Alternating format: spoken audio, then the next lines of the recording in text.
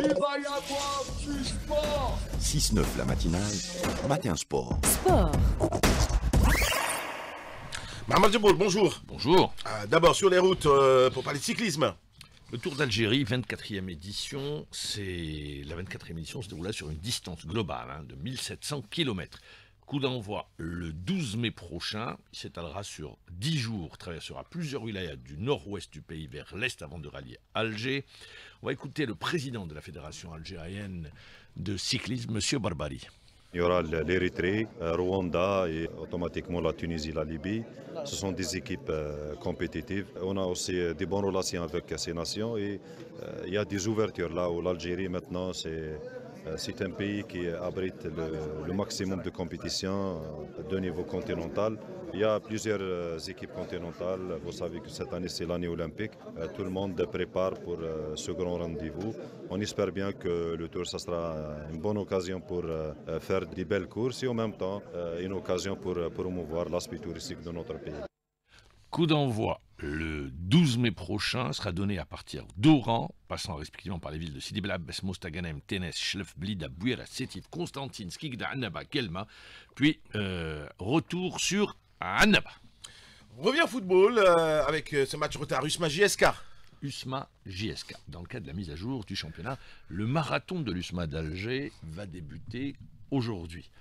L'USMA d'Alger qui peut revenir et prendre cette deuxième place et pourquoi pas dans cette dernière ligne droite coiffer tout le monde sur le fil. Mais là, il faudra attendre le résultat d'aujourd'hui. Du côté de la JSK, l'opération maintien a débuté. La JSK Billy est en balotage favorable. L'USMA d'Alger qui, je le rappelle, a porté son affaire concernant la Coupe de la Confédération africaine de football auprès du tribunal arbitral des sports, la CAF ayant, euh, évoqué le cas de force majeure. Or, le cas de force majeure, pourquoi? Ça, on ne le comprend pas. D'autant plus que la CAF, connaissant très bien la réglementation, c'est une réglementation au niveau international, il est interdit de porter euh, un message politique sur le maillot. Or, c'était un message politique pour des territoires euh, qui n'appartiennent pas au Maroc. Et je rappelle que la République arabe sahraoui eh bien, fait partie de l'Union africaine.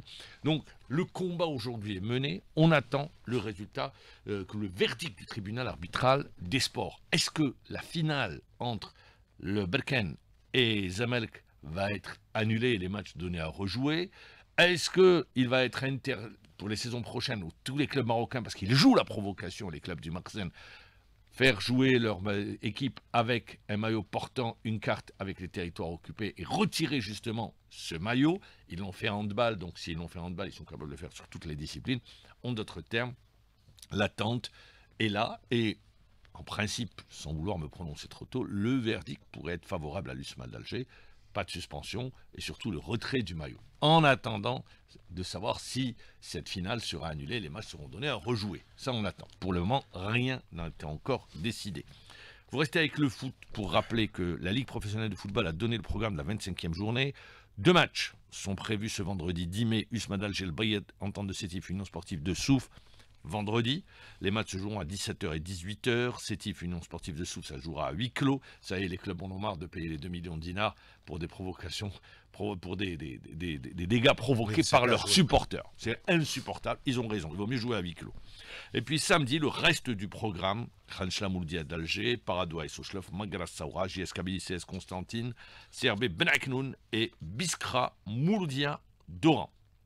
L'entente de Sétif a un nouveau manager, Abdelkarim Bira, qui a fait un très court passage de pas plus d'un mois au niveau de la direction des équipes euh, nationales, je le rappelle, et c'est lui qui a demandé à partir à l'époque, donc pour euh, que les choses soient très claires, eh bien, il revient dans le monde du foot. Après avoir été également euh, consultant, il prend le poste de manager général au niveau de l'entente de Sétif. Reste à voir comment va se passer la cohabitation entre Abdelkrim Bira et l'entraîneur actuel de l'entente de Sétif. Ça, c'est toujours le grand point d'interrogation.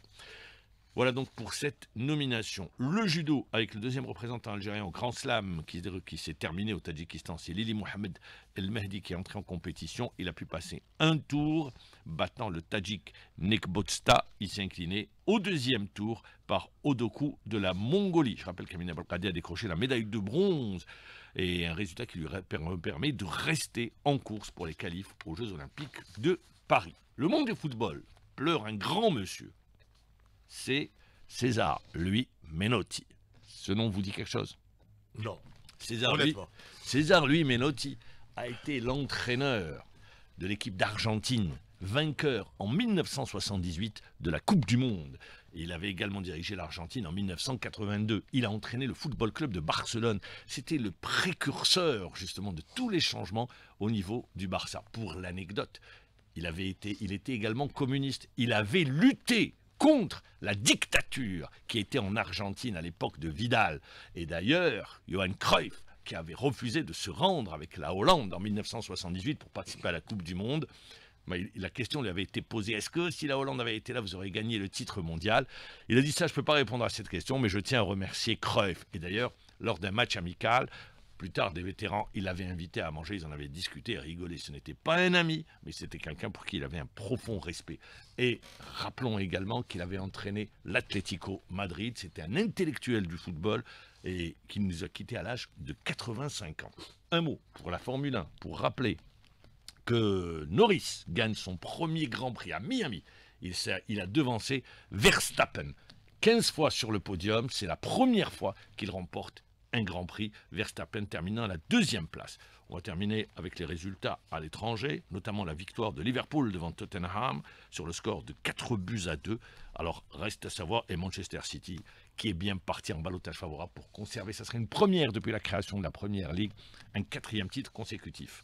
Je rappelle également qu'en Espagne, bon, il n'y a pas de changement, le Real est déjà sacré euh, champion. En Allemagne, le Bayer Leverkusen, toujours invaincu. Ça pourrait être une première pour le Bayer Leverkusen, qui, je le rappelle, balotage favorable pour les qualifs en Europa League, pour la finale. Ils ont battu l'Ice Rome 2 buts à 0. Ils ont gagné le championnat et ils joueront la Coupe d'Allemagne.